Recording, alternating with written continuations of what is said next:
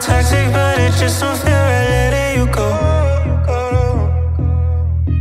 But you play a game.